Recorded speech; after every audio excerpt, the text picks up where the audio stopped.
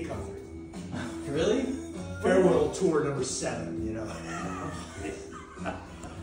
I don't know why. My wife really wanted to see it. That's just how it happened.